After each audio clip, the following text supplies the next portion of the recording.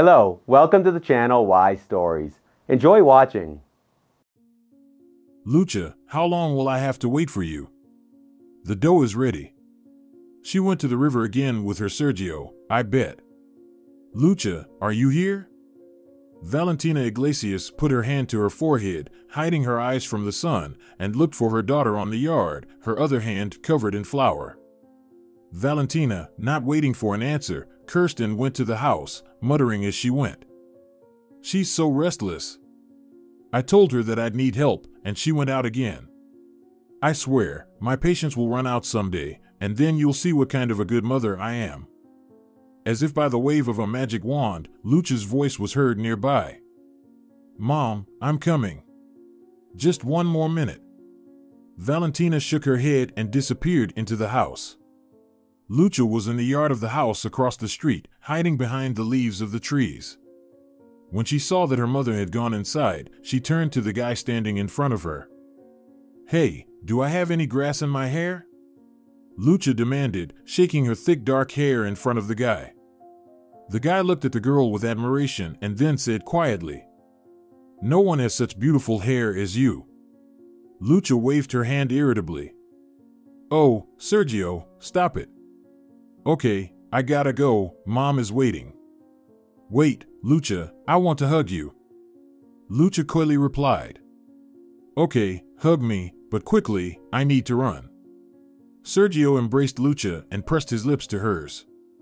In response, the girl hugged his neck, but after a couple of seconds, she began to push him away. Sergio, I'm serious. My mother won't let me go out anymore.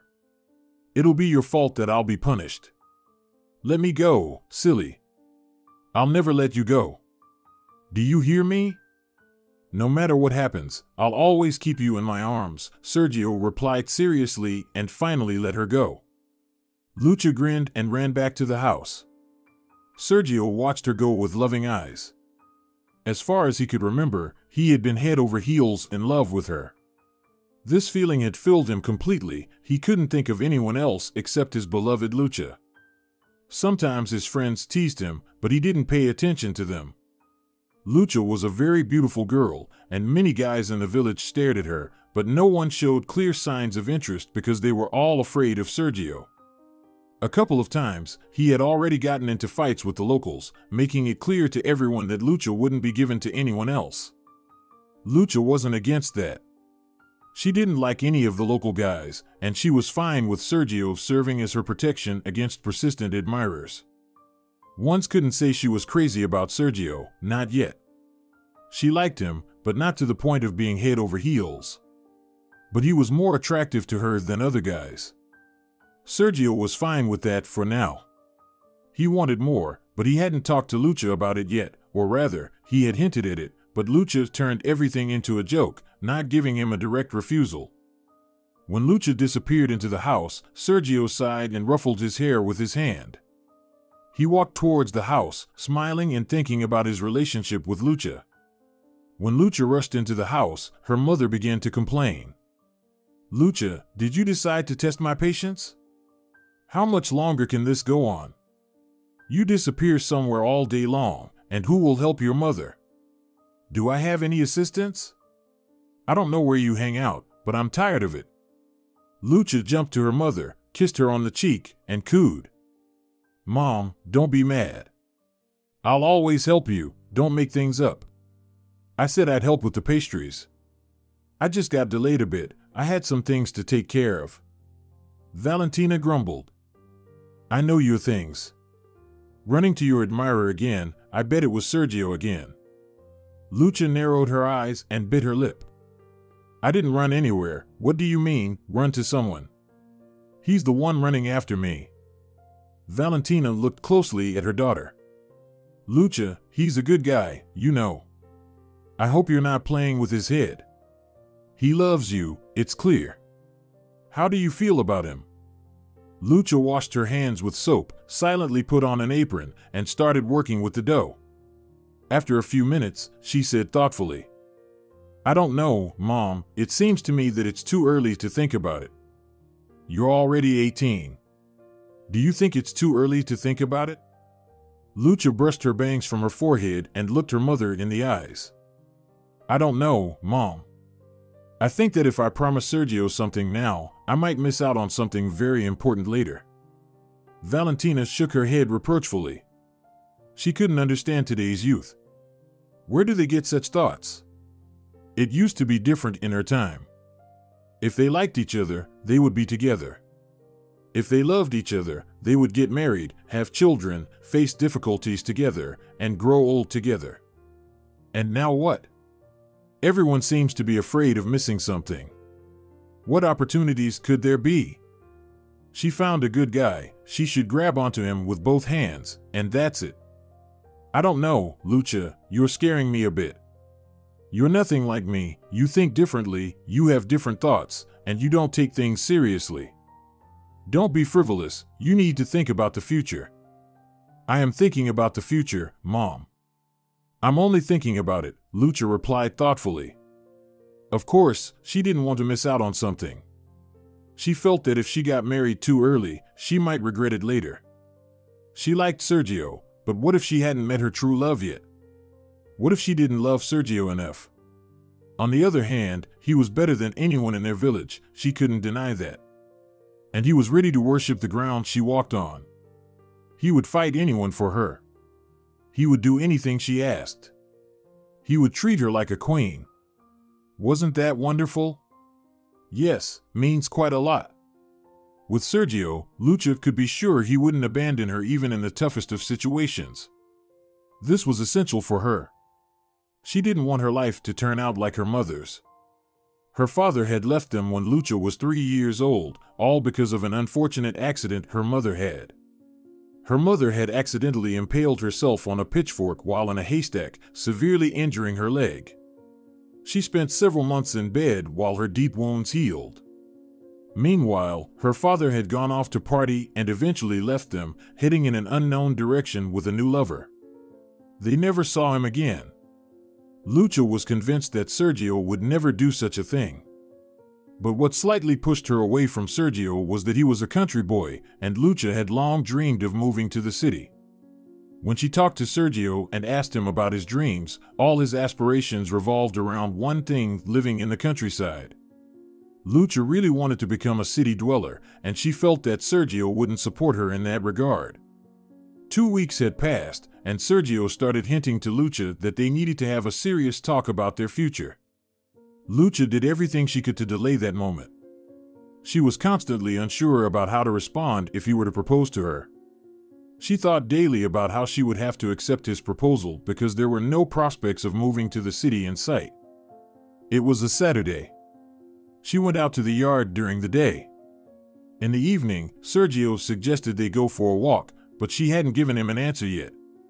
She didn't feel like it, and she knew he would start pressing her with questions about their future again. She'd rather sit in the yard with her mother and chat about life. And then Lucha noticed a stranger man behind the fence. He was standing next to their neighbor Victor. They were talking and laughing about something. Lucha approached the fence, leaning her hands on it. Hey, Victor, how's it going? She called out. Oh, hi, Lucha. Everything's fine. And you? Lucha, squinting her eyes, looked at the unfamiliar man, who was eyeing her from head to toe. I'm okay, just lazing around today. What about you? Got any plans? I'm planning to show my friend the village. He wants to drive to the river. Drive? Why drive there? You can just walk there. Or were you planning to take him on a bicycle? Lucha asked mockingly. Why on a bicycle? I have my own car, and we're going in my car, the guy replied. Lucha looked at him. A car? Was he from the city or something? He seemed modern. By the way, my name is Pablo. Maybe you'll join us, come to the river with us. Or are you scared? Pablo continued, with a slight grin. Lucha provocatively looked at him. She decided to show him that country girls were fearless. Why should I be afraid? Are you some kind of maniac or planning something sinister? She replied, not losing her composure. Pablo raised one eyebrow and folded his arms over his chest, flexing his muscles playfully. Well, why would I plan something sinister? Quite the opposite. I wanted to get to know you better and have a good time together. Or are you already involved with someone else? Lucha opened her mouth to say she was taken, but she hesitated. If she said that now, he might lose interest in her. But if she told him she was available, what should she say to him? She couldn't figure it out on the spot. And if I'm involved, does that bother you? Pablo smirked and once again examined her from head to toe, lingering on her chest and lips. No, that doesn't bother me at all. So, are you coming with us? Lucha decided to take the risk. Who would forbid her? Besides, she wasn't doing anything illegal. After all, she was a free girl, not engaged, and hadn't made any solemn promises. So, she replied, I'll go. Why not? From the moment Lucha got into the car with Pablo, her life changed dramatically. In just one evening, the guy charmed her. While talking to him, she felt a glimpse of the life she had longed for and dreamed about. The city had always attracted her, and a city man seemed like a godsend. She hung on to his every word, and he noticed. Pablo liked how this naive village girl looked at him. He was eight years older than her and had seen a lot, but Lucha's enthusiastic gaze elevated him to the heavens. He had never felt so important and significant, and Lucha's beauty was certainly a significant factor. Only a week had passed, and Lucha had forgotten about everything else in the world. She only thought about Pablo. She enthusiastically shared everything he told her about the city, the latest news, and city life with her mother. Her mother was skeptical of her daughter's excitement and cautioned her. Lucha, be careful. Don't let him fill your head with his words, you might regret it later. Think more about practical matters. Your dreams and aspirations won't lead to anything good. As for Sergio, he was in shock at how his beloved had changed. She constantly rejected him, citing various excuses and refusing to go out with him. When he saw that she had made acquaintances with Pablo, he was furious. But in this case, he couldn't resort to violence since Pablo wasn't a local guy. Moreover, he was older, and there was no telling what a fight with this city slicker might lead to. He appeared bigger and stronger, and even though Sergio wouldn't admit it to himself, he was afraid of him.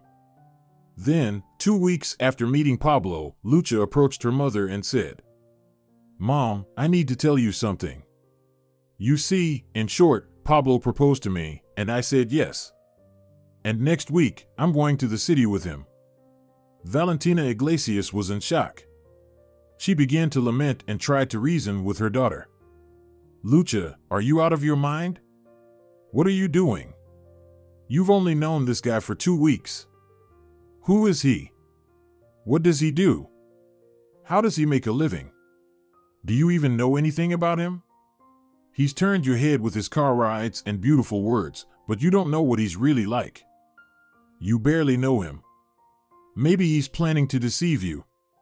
Can you just leave everything behind like this? And Sergio? Goodness, what about Sergio? What will happen to him? Have you thought about it? He's loved you for so long. Don't you realize that this will crush him? He's been pursuing you for years, hoping that you would be together. How can you do this to him? Didn't you allow him to show you attention? What are you doing? Think it over, Lucha. Lucha frowned and replied, Mom, I'm already an adult, and I know how I want to live my life. I know enough to trust Pablo completely. He suits me perfectly, and I love him. We're getting married, and I'm going to live with him in the city. And don't talk to me about Sergio. I didn't force him to chase after me, and I didn't make any promises to him. We were just friends, and we kissed a couple of times, big deal. Did that mean I was planning to marry him? No. I won't let some village guy ruin my life. Valentina Iglesias cried, shouted, and begged her daughter to think it over carefully, but it was all in vain. Lucha had already made up her mind, and she wasn't going to change her decision. Valentina realized that there was nothing she could do. The next day, Lucha told Sergio that she was leaving. When he heard that she was leaving, he was speechless. When will you come back? Are you leaving for a long time? He could barely get the words out. Lucha lowered her gaze and said, I'm leaving forever. I'll be living in the city now. What about us? What about me, Lulu? Lucha frowned and replied sharply, There's no us. I don't know what you've been imagining, but it doesn't concern me anymore. But how can this be? I wanted us to get married. I love you. Well, that's what you wanted. I didn't make any promises to you. You'll have plenty of other girls. And why are you looking at me as if I'm a traitor? I don't like it. And, by the way, I'm getting married soon. When Sergio heard about the marriage, he blushed with anger. Married?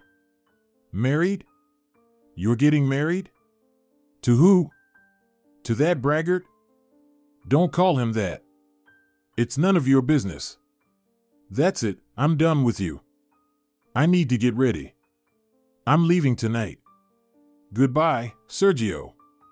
And Lucha headed home. Sergio watched her go. The city slicker was approaching her. He gave Sergio a mocking look. Sergio took a step toward them, but then saw Lucha take the city guy's hand and stopped. Lucha and the guy went to her house, while Sergio clenched and unclenched his fists with intense hatred. He also suffered from severe emotional pain that filled his mind, soul, and body. Your fiance? Pablo mockingly asked Lucha. Oh, that was just for fun. He'll get over it quickly, the girl replied. In the evening, Pablo loaded Lucha's bags into his car. The girl bid farewell to her mother, telling her that she would try to visit but that it would be better if her mom came to see her. Valentina wiped away tears. She couldn't believe that her daughter was leaving like this to start a new life. She didn't understand what was happening. Nothing had foreshadowed these events. Then Lucha got into the car with her fiance, and they drove away. Throughout the night, Many in the village heard frantic screams that sounded like the cries of a wounded animal, but no one went out or raised an alarm. Everyone knew what those sounds were. It was Sergio, trying to cope with his pain. He had lost his beloved, the girl for whom he was willing to die, for whom he would have killed anyone. She had dealt him a fatal blow, and he couldn't do anything about it. All his friends were with him that night, making sure Sergio didn't harm himself. Perhaps if it weren't for his friends, Sergio might have done something foolish, but they were there. And Sergio's mother cried all night and prayed. Only by morning did Sergio finally exhaust himself, and only his mother could calm him down. It was only for the sake of his mother that he held onto his sanity. He promised her that he wouldn't do anything foolish. Lucha had left forever to build her life in the place she had dreamed of, leaving behind the ruins of a broken heart of a boy who loved her more than life itself. Lucha married Pablo. As she had dreamed, she became a true city dweller. They often say that you can take a girl out of the village, but you can't take the village out of the girl. But in Lucha's case, it was different. She underwent a radical transformation, and once couldn't tell that she had spent most of her life in the village. She turned into a fashionable beauty with excellent taste. She quickly adapted to the pace of city life and felt like she belonged there. She adapted to the new circumstances, got rid of her old village habits, and acquired city manners. She even managed to get rid of her rural accent, which was especially challenging for her. But after hours in front of the mirror with her phone, she learned to speak as if she had always been a city girl. Pablo had a good job. After their vacation in the village, he returned to work with renewed energy, and Lucha took care of the house and herself. She gradually transformed into the image of a fashionable lady, and Pablo realized he hadn't made a mistake. He had a wife he could proudly show off in society. She made an effort to please him on every occasion because she was grateful that he had taken her out of the village and given her the life she had always dreamed of. It's been 10 years.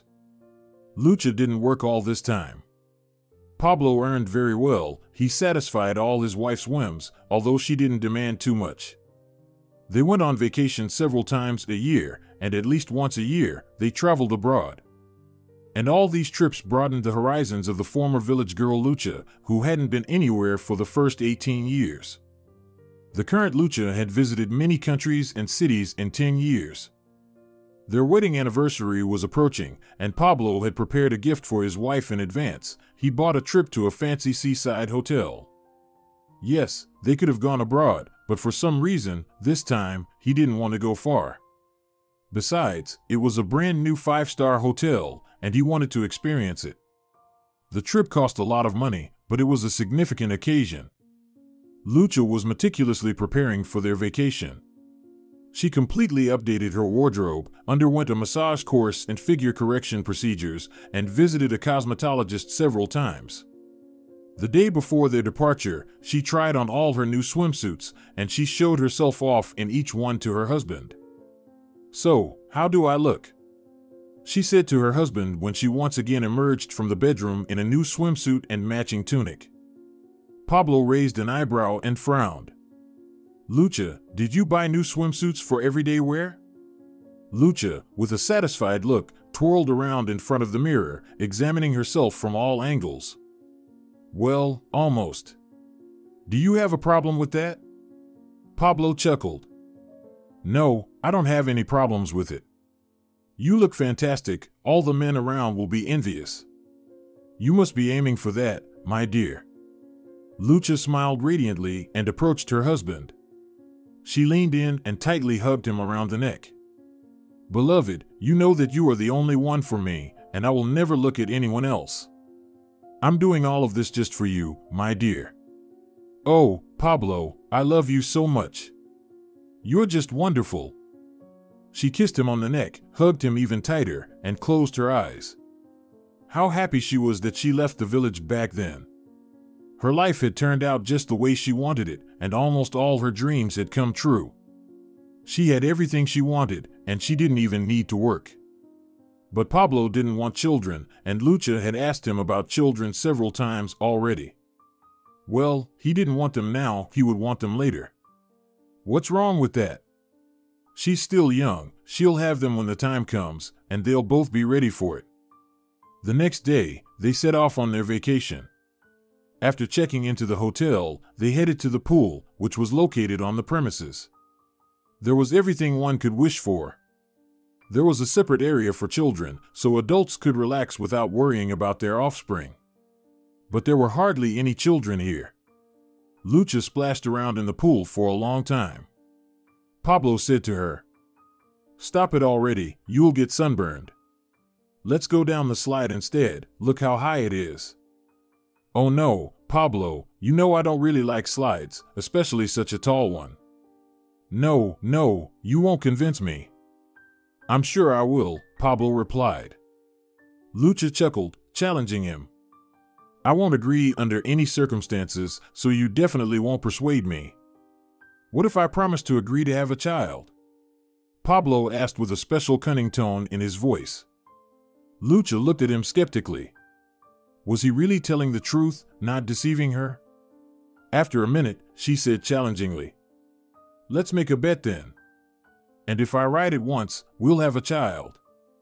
Deal? Pablo smiled and nodded.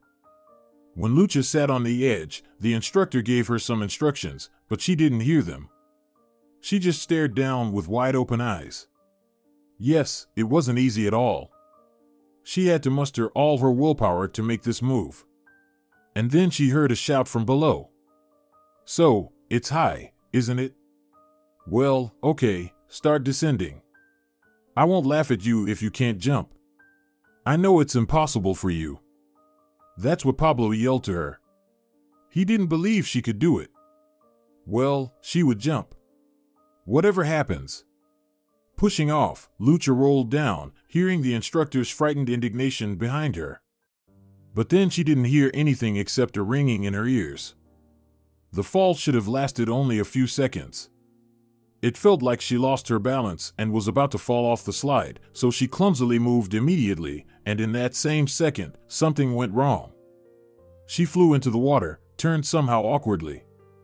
When she plunged into the water head first, she felt sharp pain in the first second. It seemed like a fiery arrow had pierced her entire body, and it would have made her scream in wild pain if she hadn't been underwater. She couldn't resurface. Lucha closed her eyes and groaned. Her entire forehead was covered in beads of sweat. It had been six months since the accident, and there was no progress. She would never forget their 10th wedding anniversary and that fall from the slide. She hit her back on the edge of the slide and landed awkwardly in the water. She suffered a spinal injury. Who could have thought this was possible? Dozens, even hundreds of people had gone down that slide, and the tragedy happened only to her. And such a tragedy that now she couldn't walk. What she had been through in those days was indescribable. She went into hysterics when she woke up. How? She couldn't feel her legs? And for how long? Maybe forever? It couldn't be. Denial and anger consumed her alive. Pablo had to spend a lot of money to get them back home. At home, they began visiting doctors, and all of them shrugged their shoulders. No one knew what to do. They all said that recovery might be possible, but maybe even surgery would be needed. But no one could explain the further plan of action. They simply didn't know what to do. Only one doctor, whom Lucha had seen just yesterday, told her, I think everything can still be fixed. But you need a long rehabilitation, and you should be taken care of by highly qualified specialists with extensive experience in such cases, and it requires a comprehensive approach. You can go through this kind of rehabilitation only at one clinic, and it will be expensive. If you have the money, I'll give you the number and email address to contact the administration of this clinic, and you can arrange everything with them. And Lucha was sure they had enough money. For six months, she had hardly spent anything on herself. Pablo continued to work, and they were financially well off. Moreover, Pablo started working overtime, often coming home late, explaining it by taking on additional work to earn more. Lucha was furious with herself for ending up in this condition, but it wasn't her fault. And when she said that it was Pablo's fault that she went down that slide, he had a fit. Are you out of your mind, you fool? Did I drag you there by the hand? Don't you dare blame me, or you'll regret it. Is it your new habit of shifting responsibility onto someone else? This won't work with me, got it? And from that moment on, everything went awry between them. Pablo started treating her strangely. He hardly ever smiled, the trust was completely gone. He often sat at home in front of his computer or was on the phone, constantly texting someone. Lucha felt lonely. Her husband hired a caregiver and housekeeper who came every day to assist her, or rather, to do all the work for her. Lucha searched the internet for ways to help herself, but there was too much information, and it was all over the place. Without recommendations, she didn't know where to turn.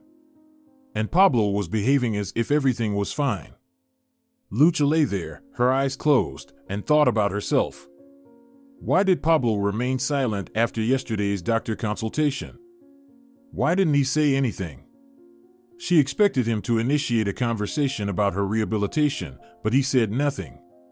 So, she would ask him herself today when he returned from work. Lucha wiped the sweat from her forehead and the tears streaming down her cheeks. How bad and lonely she felt. How much she wished her mother could be with her. But Pablo wouldn't allow her to come. He had never allowed her to visit for all 10 years of their marriage. Lucha had gone to see her a few times on her own. They hadn't seen each other for the past couple of years, and now she missed her terribly. When Pablo came home from work, once again later than usual, he habitually peeked into his wife's room and greeted her. He was about to leave when Lucha stopped him. Pablo, wait. Could you come in here? I need to talk to you. Pablo grimaced, but then composed himself. He sighed heavily, entered the room, and said, I have a lot of work. Is this urgent? Can't we talk later? Lucha said loudly, Yes, it's urgent. Your work can wait a bit. I need to talk right now. Please, have a seat. Pablo's face showed a visible aversion that he couldn't hide. Lucha felt her heart freeze. Her lips trembled. Pablo regained control of himself and said, No, I'll stand. I hope this conversation won't take long. I'm really short on time. Lucha sighed and said, Sit in the chair then, if you don't want to sit next to me. Pablo gave her an attentive look and decided not to argue. I wanted to know what you think about yesterday's doctor consultation. You heard what he said, right? I have a chance to recover. When do you think I could go for rehabilitation? Maybe you could take some time off? I think it's necessary to make it more convenient for both of us, she asked. Pablo stared at her, frowning. After a minute, he finally said, What rehabilitation are you talking about? Did we ever discuss this? I don't recall us talking about anything like that. Lucha felt a chill and an impending sense of disaster. I didn't understand what you mean by we never discussed it. Haven't you heard what the doctor said? I can get better, Pablo. And what? What are you hinting at? Haven't you heard that this is all very expensive? Do you think I'll just sell everything so you can go for treatment? What about our future? Do you want me to lose everything because of you and your illness? Pablo retorted. Lucha felt her heart beating faster. What was he saying? Why was he saying such things? They love each other and should support one another. Pablo, how can you say that?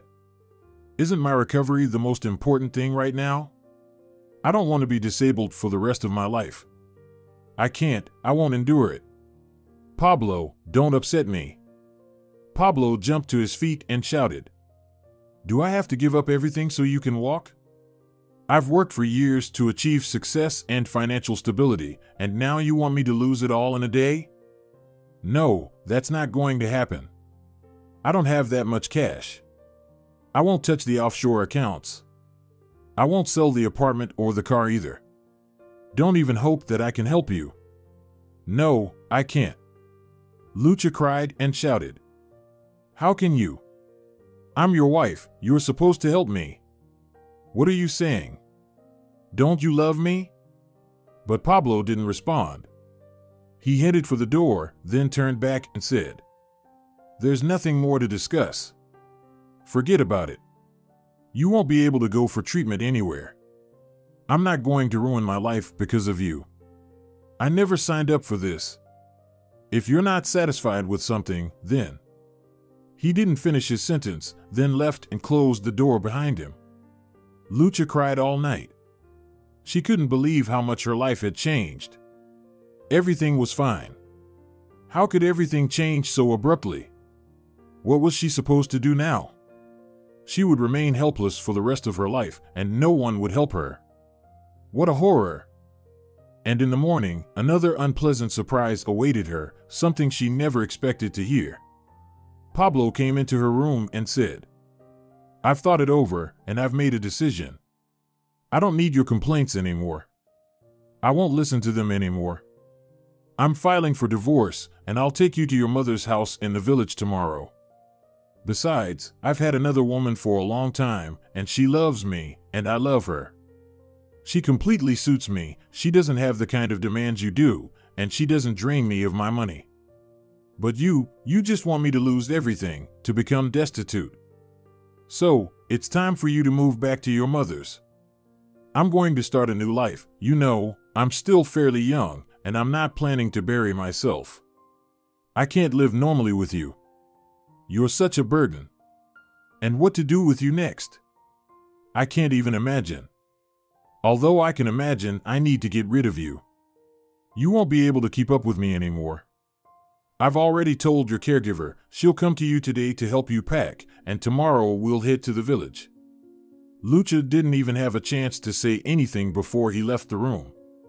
Lucha cried out of pain and hurt. She had long felt that things between them weren't as smooth as she thought, and she realized that he probably hadn't treated her even before the accident. Maybe he never loved her. Yes, perhaps she appealed to him, but love. Could a person who loves someone do this? Could they abandon them in their most difficult moment? No, a loving person wouldn't do that. How right her mother had been when she warned her 10 years ago. She had lived all these years in a life she had invented for herself. But what was the reality? She didn't even understand it. Pablo found it convenient to be with her, and that's why he married her. As for Lucha, she just fell in love with him. And she dreamed of city life. But where had this city life led her? Now she would return to her mother in disgrace, and on top of it all, she would be a helpless invalid. The next day, Pablo put his wife in the car, carried her suitcases, and they set off for the village. The journey was long, about five hours, and Lucha worried about how they would manage to stay together in the car all that time. But Pablo didn't speak to her once, he didn't even look in her direction, and she didn't talk to him either. She sat there in silence. The only thing she prayed for was not to need to use the bathroom. Pablo was unlikely to assist her with that. He hadn't done it once in the past six months, the caregiver had been taking care of her all that time. At night, the caregiver put diapers on her. Her husband had never taken her to the bathroom or helped her bathe. He found it all disgusting. They spent the entire five hour journey in silence. They only stopped once at a gas station. Pablo got out of the car without a word, went to the restroom, and then bought himself coffee. He didn't even offer any to her. What's more, he didn't even ask if she wanted some water. No, he just ignored her. And Lucha? Lucha had resigned herself to the fact that he found it unpleasant to be around her, and she didn't want to further humiliate herself by creating a scene. She just wanted to get there as quickly as possible, hide in her room, and not see anyone else so that no one else could hurt her. When they finally arrived at her mother's house, Lucha's heart was pounding so hard it felt like it wanted to leap out of her chest. She was afraid of meeting her mother. She was afraid of how her mother would react to Pablo's actions. She was afraid her mother would reject her or remind her that she had once warned her about her rash decisions. But none of these fears materialized. Everything turned out quite differently. Near Valentina's house, there was a tractor, and Valentina herself was working in the ground in front of the house. A man was standing nearby, who had been digging the soil earlier. When they saw the car, he stopped working and looked with interest at the foreign car. Lucha recognized this guy. He was Sergio, the guy who had suffered because of his love for her over 10 years ago. Lucha sat in the car and stared at him intently. Pablo had already taken a simple wheelchair out of the trunk and rolled it up to the car from the side where Lucha was sitting. Her husband approached her to take her out of the car, but Lucha just sat there without moving. That's when Pablo rudely said to her, Why are you sitting there? Come on, hurry up. I don't have time to spend with you. My God, you're such a fool. Lucha flinched as if slapped. She hoped no one had heard those words, but it was unlikely. Burning with shame, she reached out to him. Pablo took her, placed her in the wheelchair, and wheeled her towards the house. Lucha tried not to look at Sergio, but she felt he was watching her. The girl looked her mother in the eyes. Valentina Iglesias stared at her daughter. It was impossible to tell from her eyes what she was thinking. Pablo rolled her to the doorstep of the house and said mockingly, Look, here's your groom. He's right here as if he sensed his bride was coming. You won't be bored here. Who knows, you might even get married again. This is your place now, my dear. Lucha felt terribly ashamed. There was no hope left that Pablo's words wouldn't be heard. She turned her head and looked at Sergio, but he wasn't looking at her. He was staring intently at Pablo, with such hatred and anger in his eyes that Lucha wanted to cry. And then her mother's calm, cold voice broke the silence. Have you said everything you wanted to? Then get out of here, city slicker, nobody here wants to see you. Go on, or you might run into trouble. Pablo was taken aback. He wanted to respond rudely to Lucha's mother, but then he saw the former fiancée of Lucha approaching them. And it should be noted that now Sergio was bulkier than Pablo. Joking with him right now was quite dangerous, so Pablo silently walked back to his car. He took out Lucha's suitcases and bags from the trunk and placed them right on the ground near the gate. Then he got in his car and drove away, leaving a trail of dust behind. The three of them remained silent for several seconds, and then Sergio quietly approached the gate and picked up all of Lucha's bags. He carried them into the house. While Sergio was away, Valentina approached her daughter, tears in her eyes, and gently stroked her head. Lucha took her mother's hand and pressed it against her cheek, closing her eyes. Did you make a big mistake, my daughter? Valentina quietly asked. Very big, Mom, very big, Lucha whispered. Valentina let out a deep sigh and replied, I'm glad you've come back. Of course, it hurts me that it took your illness for you to return to me. I would give anything to prevent this from happening. But right now, I'm glad you're with me, and no one here will harm you anymore. And Lucha burst into bitter tears. She couldn't see anything in front of her due to her tears. Her mother whispered something to her and comforted her. After a minute, Lucha felt someone lifting her up. It was Sergio. She pressed herself against his warm neck and cried even louder. He held her tightly and carried her into the house. For about a week, Lucha didn't go out into the yard and didn't interact with anyone. She spent all her time lying in bed while her mother took care of her, helping her and feeding her. Lucha tried to recover from her grief and shame. She also feared coming face to face with Sergio. More than 10 years ago, she had hurt him so badly, and at that time, he seemed worthless and insignificant to her but now she saw that he had become a real man. Even his gaze was different. It held strength, toughness, courage, and sharp intelligence, and there was no more weakness in it.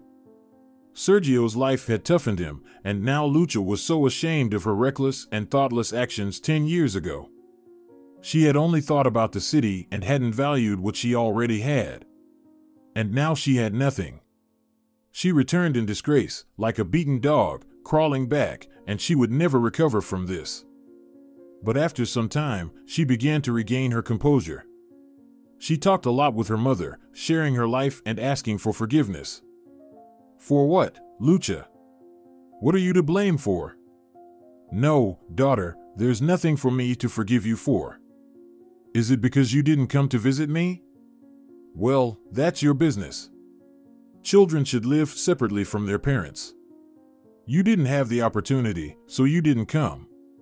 I don't blame you for that. All of that is in the past, and there's no point in dwelling on it. Now that you've returned, we need to move forward. Come on, don't be upset, and don't cry. There's nothing here to regret.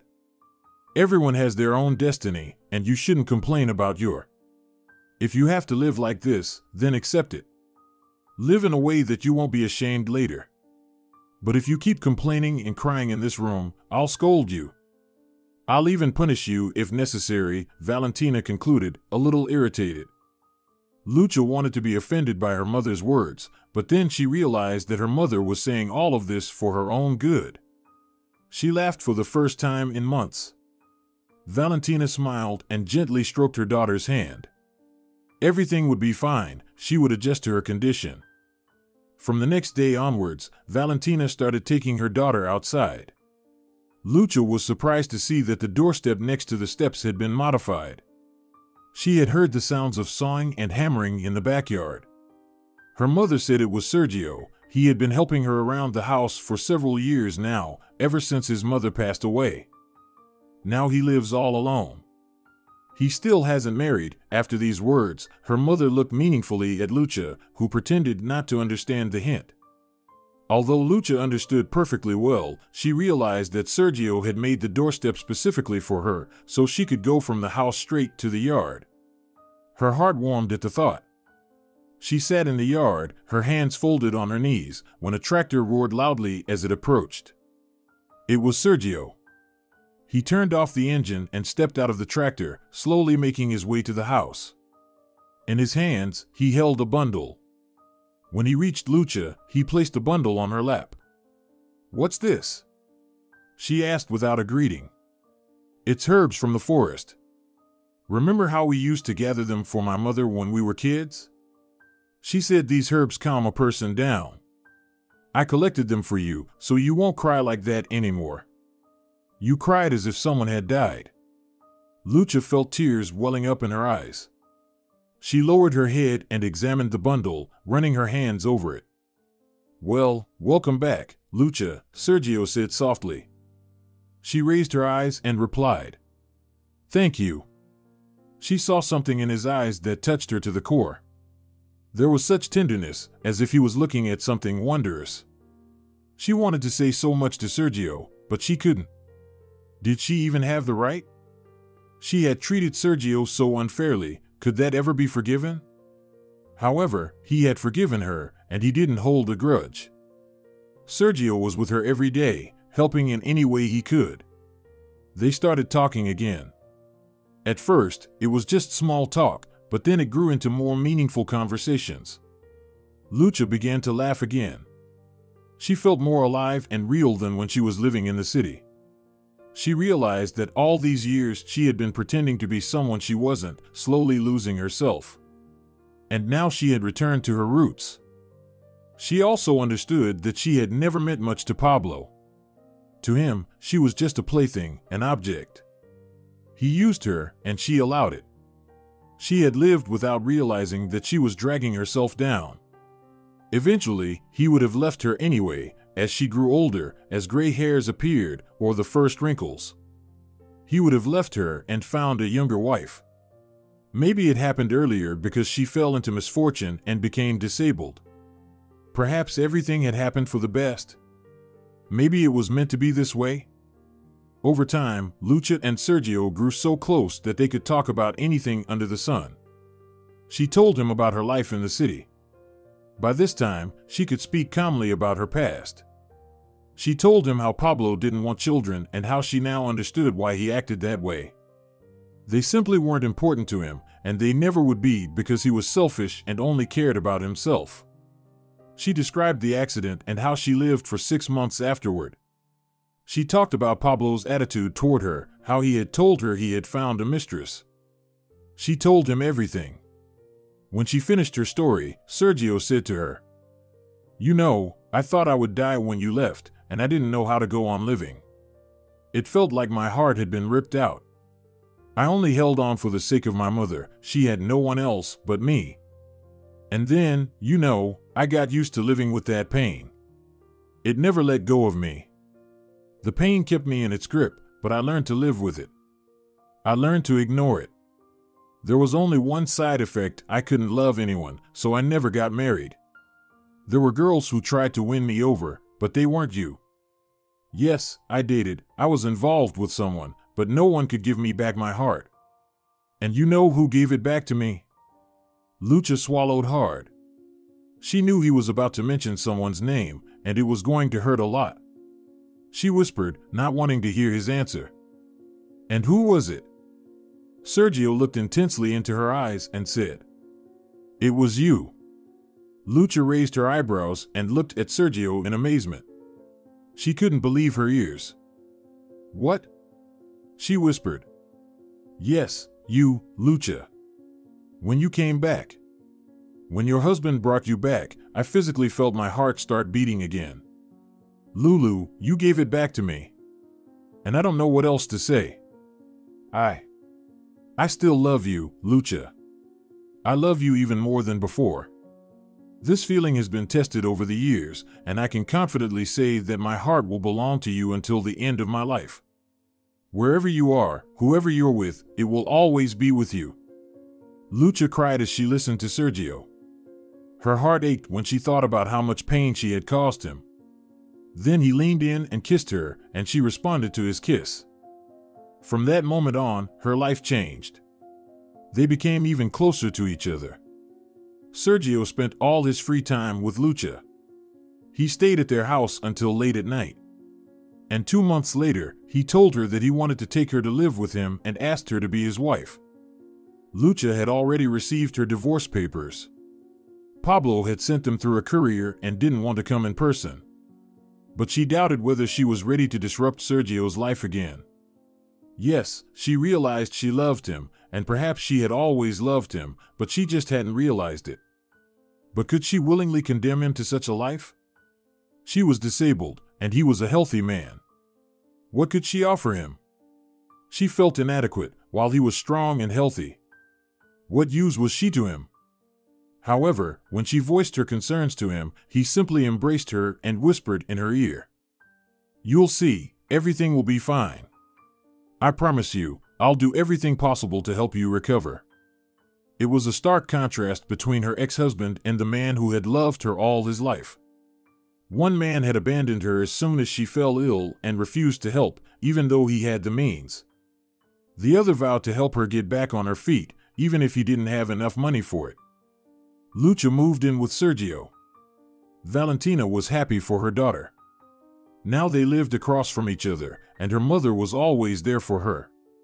Over the years, she had missed her mother so much that she didn't want to be separated from her anymore.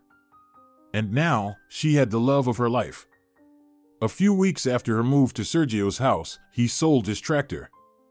When he told her about it, she was very surprised. Why? Why did you do this? How will you work now? Sergio just waved it off. It's not a problem. I'll rent one when I need it. It's not that expensive. Don't worry about it. And I sold it for a reason, Lucha. I sold it to pay for your treatment. I want you to go and undergo rehabilitation. I want you to get better. I'll do everything so that you can walk again. I'll do anything, even sell the house if needed. Yes, Sergio was the complete opposite of Pablo. And Lucha realized that at 18, she had made the worst mistake of her life when she left Sergio. This man would never hurt her. She would try to make amends and make him happy. Sergio sent Lucha to the capital. He accompanied her to the train station himself. He paid for her stay at the clinic.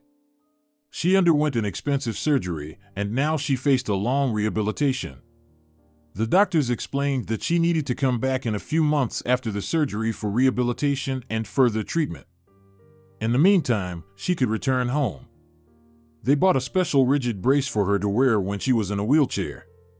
A couple of months later, they returned to the village. However, this entire trip, staying in the capital, surgeries, and all the medications had cost a fortune, and almost all the money from the tractor sale had gone towards it. They were running out of money, and in a few months, Lucha wouldn't be able to attend the rehabilitation, which was also quite expensive. Lucia was inching closer to recovery but had hit a roadblock, and there seemed to be no way out. Sergio, however, remained optimistic. He believed that they would make it work and find the money for her treatment. He even considered selling the house.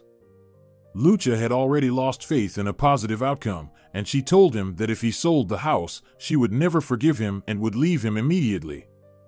Sergio had to promise her that he wouldn't do anything like that without her consent. As for Pablo, things weren't going as smoothly as he had hoped.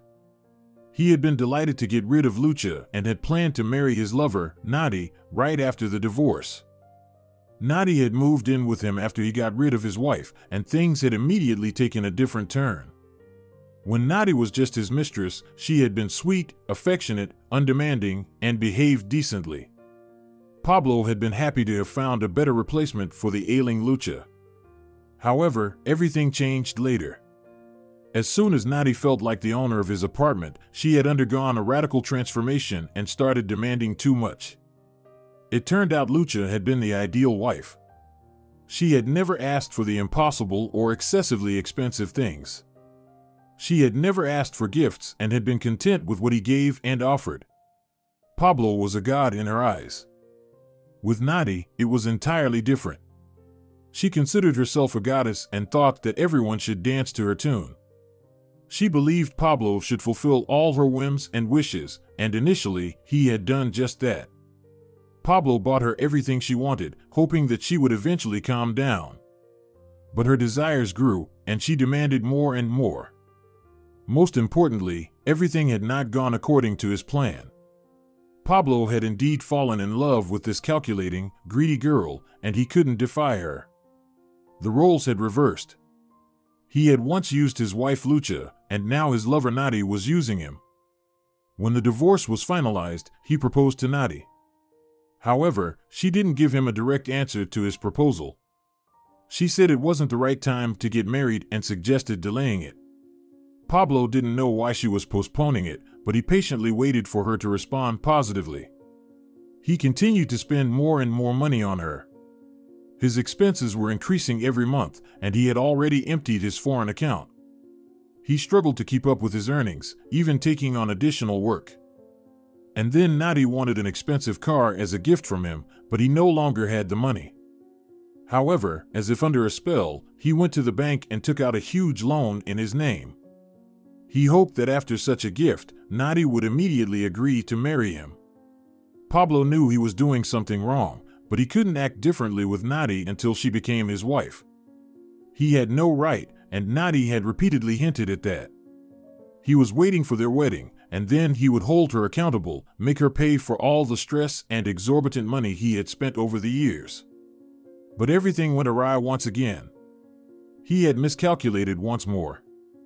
Nadi graciously accepted the expensive car as a gift, thanked him sparingly for his generous gesture, but she didn't agree to marry him, saying it wasn't the right time yet. Pablo was furious. When would it be the right time?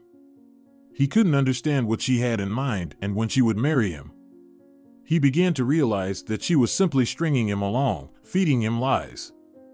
He was drowning in debt, had taken out a substantial loan in his name, and now he had to make significant monthly payments for several years. But how could he do that if she continued to drain him of every last cent? He was desperate. How could he break free from this vicious cycle he had gotten himself into? Marrying Nadi had become a matter of principle now. He couldn't admit that he had made a mistake by getting involved with her. He had never been wrong about women before. He used them as he pleased and then discarded them if he felt like it. It had been that way with all his girlfriends in his youth and with his ex wife, Lucha. But with Nadi, it was entirely different. He had stepped on his own rake. This calculating woman was using him, and he couldn't do anything about it because he hadn't lost hope of winning over her. And he started thinking that it would be great if she got pregnant. But even there, he faced failure. No matter how hard he tried, nothing worked. One time they talked about children, and Nadi said with a look of disgust, Ew, kids, I hate kids. I've never liked those little monsters and I've long since decided that I will never give birth myself. If I ever decide to have a child, I'll use a surrogate mother's services. But to carry it myself, no way. Never in my life. And I've taken care to ensure that I won't get pregnant. It's never going to happen. And Pablo realized that his last hope died with her words. He wouldn't be able to make her marry him against her will. When he ran out of money completely and started discussing it with Nadi, she simply dumped him. She took all his expensive gifts, all trinkets, the car, and left. She left a short note stating that it no longer made sense to be with him and that she had gone abroad to her former lover. That was the end of a beautiful story. And Pablo was left with nothing. Although he did have something after Nadi, huge debts and an impressive loan in his name. He barely made ends meet, trying to settle his debts with friends who had lent him money. At home, in the evenings, he seethed with anger, thinking about that bedhopper who had taken advantage of him and cleaned him out. Some time passed after Nadi left him. Pablo was in a terrible mood all the time. He tried to spend all his free time on work to distract himself from negative thoughts. He didn't even look at women. He had used them all his life, and now, faced with someone who had used him, he believed that all women were harpies and vixens, and he couldn't even think about women. And soon, something happened that gave him hope of restoring his reputation and financial well being. One day, someone knocked on his apartment door. Pablo opened it and saw an unfamiliar man in a business suit holding a shiny briefcase, typically used for documents. When Pablo asked what he wanted, the man replied that he was looking for Pablo's wife. Are you looking for Lucha? You're too late. We're no longer married. We got divorced. And what exactly do you want from her? Did she take a loan and not repay it? Then I'll tell you that I have nothing to do with it. We divorced a long time ago, and she probably had her own shady dealings after me, Pablo said with irritation and malice. However, he didn't expect what the man would say to him. No, it's something entirely different. You see, By the way, my name is Rosario. So, you see, Lucha inherited a significant estate, and I'm looking for her on behalf of the estate. We need to process all the documentation so that she can inherit as soon as possible. Pablo was so surprised that his mouth hung open. An inheritance? From where? How could this be? He needed to find out everything right away. His tone changed immediately when he responded to the man. Why didn't you say that you have an important matter related to her? Please, come in. I'll make you some coffee, and we can talk calmly and unhurriedly. Rosario entered, and Pablo feverishly thought about the advantage he could gain from all of this. So, what were you saying about the inheritance? Tell me more. Sugar or milk? Or both? Pablo asked. Rosario smiled politely and replied, With sugar, please. Thank you. You see, she had an aunt, her mother's sister. She probably didn't even know anything about her because Ines Iglesias went abroad when she was very young. She had a big falling out with her parents and sister, they were against her marrying a foreigner. But Ines Iglesias did things her way, and they never communicated again. However, Ines kept an eye on her relatives all her life. She knew about her sister's fate, and she knew about her niece. Ines Iglesias had a very wealthy husband, and she was involved in business her whole life. But they had no children. Ines' husband passed away five years ago, and now she has passed away too. She bequeathed her entire estate to her only niece, Lucha, while she was still alive. However, a few years ago, she stopped keeping track of Lucha's life because she developed Alzheimer's disease, and six months ago, she passed away. And now we need to talk to Lucha. She needs to inherit. We thought Lucha was still your wife, and we hope to find her here. My goodness, what an incredible story! So, my ex wife is a millionaire now, is she? Pablo asked in amazement, looking at Rosario with wide open eyes. Rosario took a sip of coffee and nodded. Yes, now she's a millionaire, and I'm not talking about dollars if you add up the value of all the real estate left to her abroad. Pablo was speechless. Silence hung in the air. Pablo's hands trembled as he thought about how this representative might not have come here at all. He could have gone straight to the village if they had continued to monitor Lucha's life. And then all this money would have passed him by. Dollar bills flashed before his eyes, and he had already calculated how he could use them if, if he did everything right, wisely. He needed to come up with something now, take action, not miss this opportunity. Pablo smiled warmly and, leaning forward, patted Rosario on the shoulder. The man looked at him puzzled. You're lucky, Rosario, you came to the right place. I can organize everything in the best possible way. You know, I'm on good terms with her now, and we're friends, despite the fact that we're no longer married. We often call each other, and I even help her sometimes. You know, I'll help you. But I need to ask you something. We need to surprise her. She loves surprises. Leave me your phone number, and I'll organize everything in the best way. I'll go to her as soon as I can and bring her here. Then I'll call you, so you can come and then we'll tell her such wonderful news together. What do you think? She'll be thrilled. I think that's how we should do it. What do you say? Rosario squinted suspiciously at Pablo. The smile faded from his face as he placed the coffee cup on the table and rested his hands on his diplomat. He had already opened his mouth to say something but quickly changed his mind. He smiled again, not in a friendly way but politely. Pablo had thought the guy would reject his idea, but Rosario said, Yes, that's a fantastic idea. She lives in the village with her mother, right? Excellent. You bring her, and then call me right away, and we'll handle everything in the best possible way. I'll be waiting for your call. Just so you know, I won't be in the city for a couple of days. I need to go abroad for a while. But I'll be back, and I think we can meet in about a week. Pablo was elated. This was even better. He had time to prepare for the meeting with Lucha. And this meeting wouldn't be easy, so this time was necessary. He escorted the guy out, then thought about how to proceed. Unfortunately, he couldn't go to the village right away, he could only do so in four days. But he wasn't too worried because the representative of Lucha's aunt was still not in the city. Pablo finished all his work and then headed to the village. He bought a large basket of expensive flowers for his ex wife.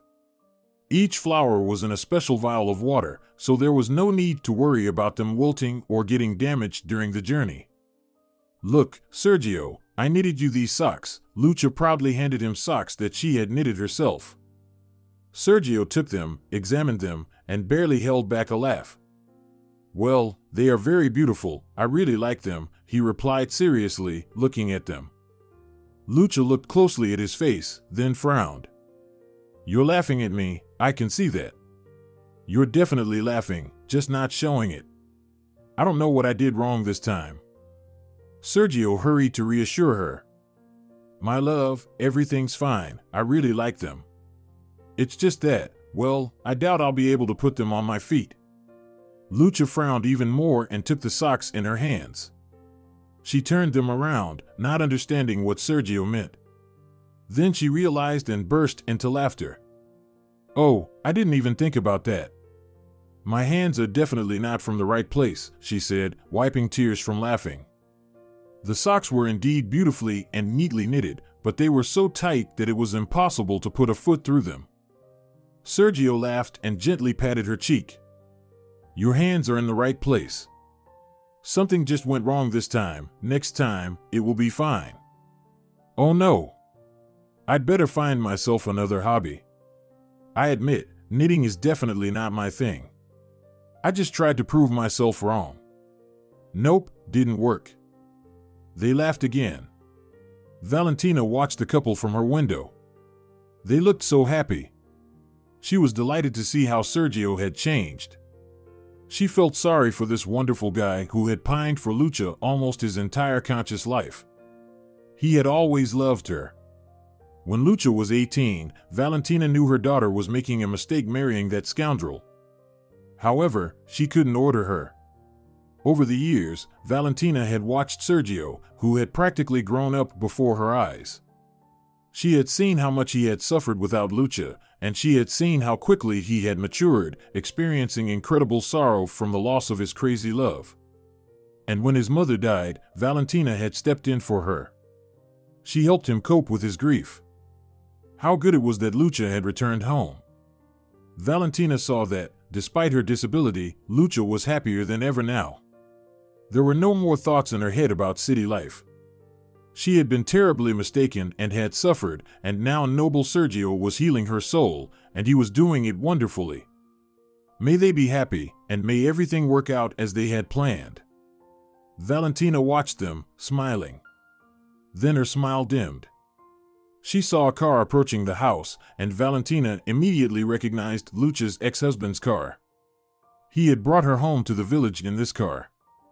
Valentina turned pale. Well, the moment of truth had come.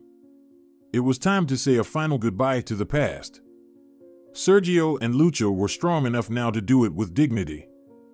Sergio was telling Lucha something, and she was laughing when both of them heard the sound of an approaching car. Lucha fell silent immediately, and Sergio tightly squeezed her hand and stepped away from her, taking a shovel in his hands. Pablo pulled up to Lucha's house and turned off the engine. He sat there for a few seconds, calming his breathing. After preparing himself and checking his appearance in the mirror, he noted that his expression was appropriate. Well, it was time to start. He got out of the car and approached the gate slowly. He looked at Lucha, sitting in a wheelchair. She was silently looking at him, her face expressionless.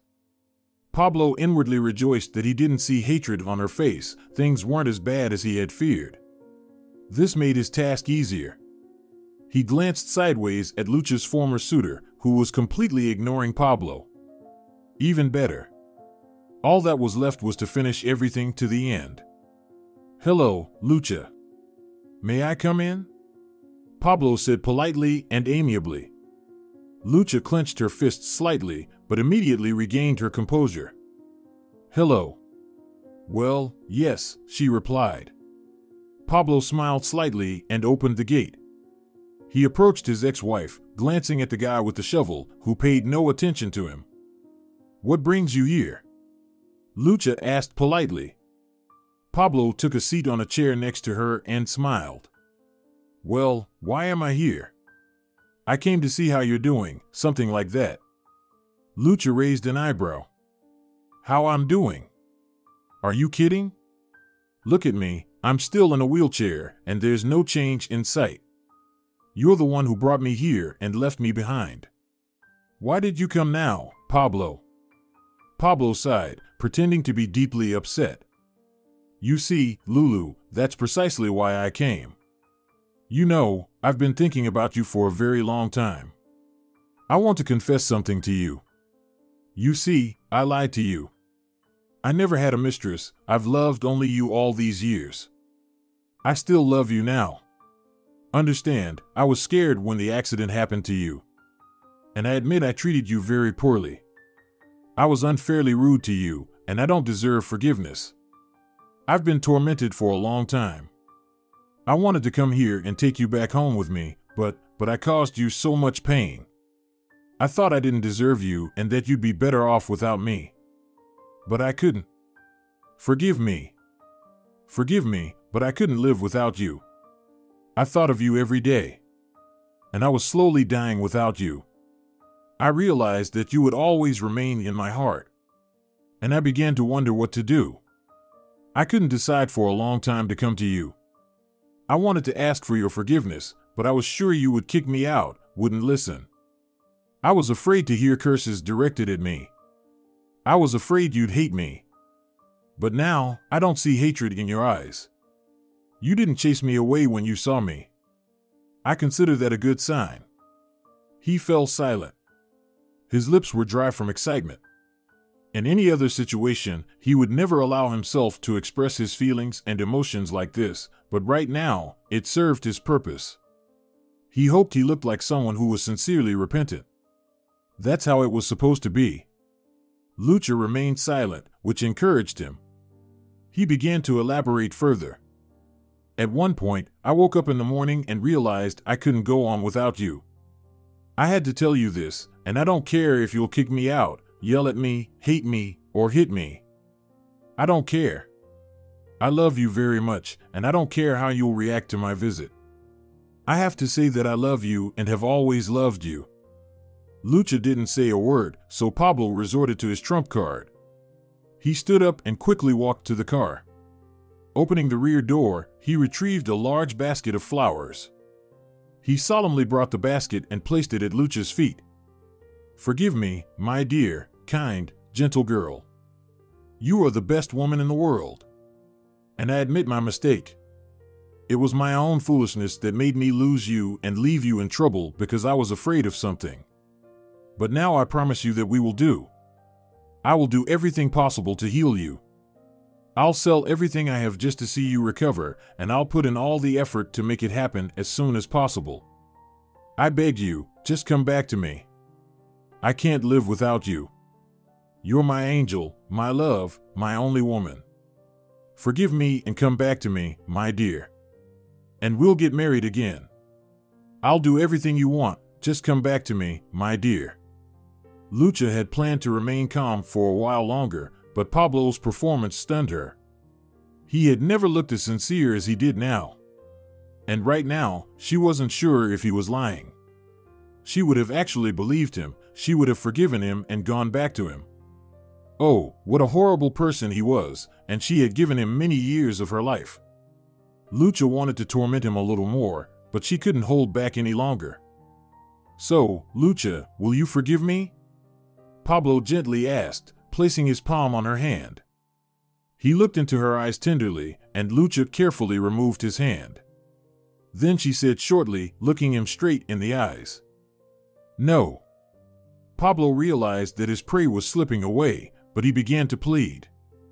Lulu, my dear, believe me, I'm sincerely repentant. I need you. I miss you so much. And then Lucha couldn't contain herself and burst into laughter. Pablo looked so ridiculous. He stared at her in bewilderment. I can't keep silent anymore, I swear. Pablo, you're hilarious. Pablo stammered, trembling with nervousness. What? What do you mean? Lucha shook her head reproachfully. Pablo, really, no, I don't need the city life anymore. Understand, you opened my eyes when you brought me back home, and I'm immensely grateful to you for that, of course. If you hadn't done that, I would have never known what real happiness is. There it is, happiness, where people love you just because, and where they are willing to give their all just to make me happy. And it's precisely for people like them that I live now. I became happy only when you brought me home. You truly saved me, Pablo. With you by my side, I would have withered away and died, and you would have simply stepped over me and walked on with your head held high. But here, I found myself. I became the person I was meant to be from the start, before I met you. Pablo was dumbfounded. He didn't know what to say, and even if he did, he wouldn't have had a chance to say anything because he wouldn't be allowed to. Get out of here, jerk, he heard a male voice. Pablo turned and looked cautiously at the guy with the shovel, who was now very close to him. Pablo took a step back. Leave and don't ever come back. You don't belong here. And if I ever see you again, I won't hold back. You think we don't know why you're here? We know, believe me. You came here for the inheritance, right? And only because of it, you thought of getting Lucha back. You planned to get it, didn't you? Well, we know everything, and you won't succeed now. It's not your business anymore. She's not your wife anymore, the divorce papers prove that. And Lucha is with me now, and we'll get married soon. So get out of here right now, don't test my patience. Pablo quickly grabbed the basket of flowers and almost ran to his car. When he got onto the street, he threw the basket of flowers aside and got into the car. Within a minute, he had disappeared. Pablo was driving and yelling in anger. If he had known about the difficulties that lay ahead, that he would soon lose everything he had, he wouldn't be yelling, he'd be crying. But he had no idea about it yet. Sergio and Lucha remained silent for a few minutes, and then he asked her, Are you okay? Lucha sighed and replied calmly, You know, everything went even better than I expected. Sergio sighed in relief and sat down next to her. Thank God. I was afraid he would upset you, he still brings back too many unpleasant memories. Lucha smiled and took his hands. She had left all the unpleasant memories behind. They had known about the inheritance long before his arrival. Fortunately, Rosario turned out to be very perceptive and clever. He immediately figured out that Pablo would try to deceive him and decided to find Lucha in the village himself to inform her about the inheritance. He did that the day after talking to Pablo. He went to the village, and since he knew the address, he told everything about Ines Iglesias. Valentina Iglesias cried for a long time when she learned about her sister's death. She deeply regretted that they hadn't communicated for years and that she didn't know that Ines had been watching over them and their lives all those years. She was very saddened that her sister had passed away without ever seeing her family again. In reality, Valentina hadn't held any grudge against her sister for many years, and she would have reached out herself, but she didn't know her address, last name, or even the country she lived in. However, her sister knew everything about them. Well, fate can be very unfair at times, and one had to come to terms with it. When Rosario told Lucha about her husband, his suspicious behavior, both she and all her close ones immediately sensed that he was up to no good. And they decided to teach him a lesson. None of them, of course, knew about the financial difficulties Pablo was facing, but that didn't matter. This was no longer their story. Sergio smiled again, looking at his future wife.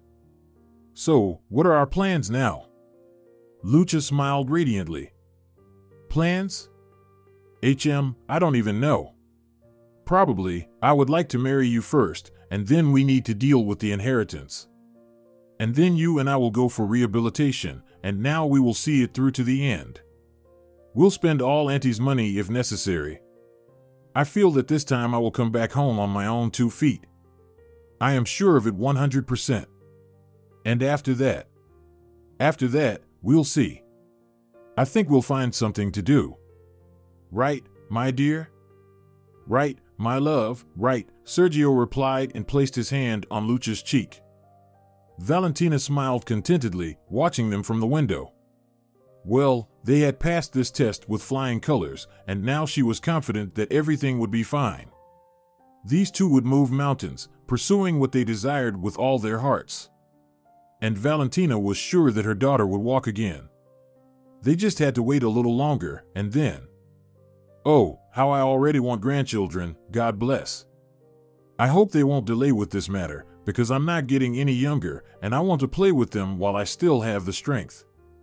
I hope I won't have to wait long. I'll go pray for it, Valentina Iglesias whispered quietly and crossed herself. She glanced at the enamored couple once again, and then she stepped away from the window. If you're enjoying it as well, leave a like and subscribe to the channel.